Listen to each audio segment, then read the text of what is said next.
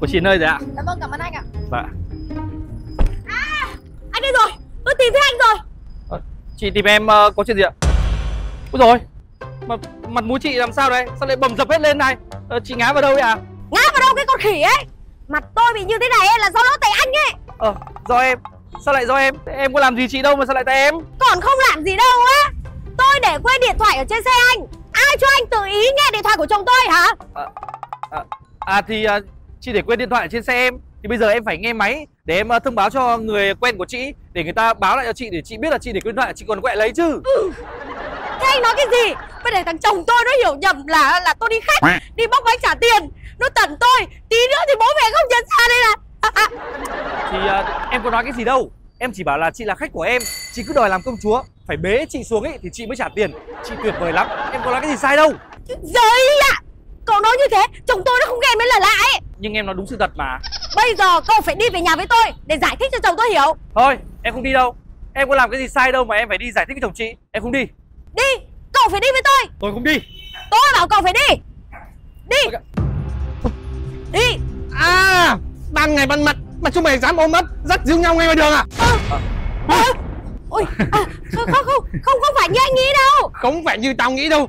Tao tận mắt chứng kiến mà mày còn chối à? Không phải Kìa anh nói gì đi? Nói gì? Ừ, Nói là chúng mình không có cái gì.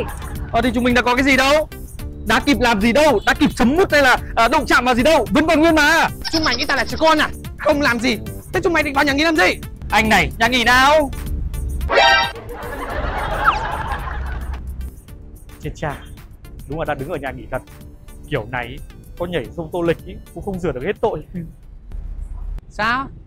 Còn dám chối cá đấy không May mà tao đổi đến đi kịp nhá. Không thì Không thì chúng mày đã kịp dắt díu nhau trong này rồi.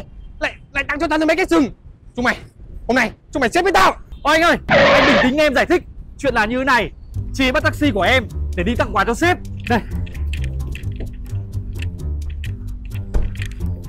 Chị có tặng cho sếp là hộp sâm tố lữ này Nhưng mà chị đi vội quá Nên chị để quên cả điện thoại, cả sâm ở trên xe của em.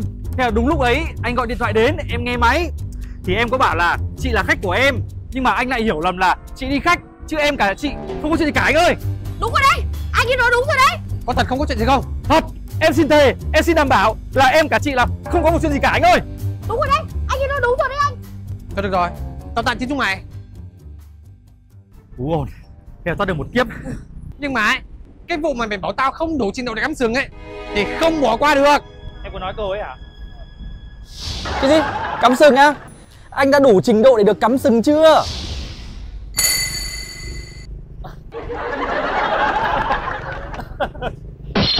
à, Đừng lại! Ồ, Đừng lại! À. Đừng lại! Đừng lại! Thằng kia đừng lại! Đàn ông đúng là cứ như mấy đứa trẻ con ấy. Em ơi, đi không? Đi đâu? Đi cái mà bố cho mày à?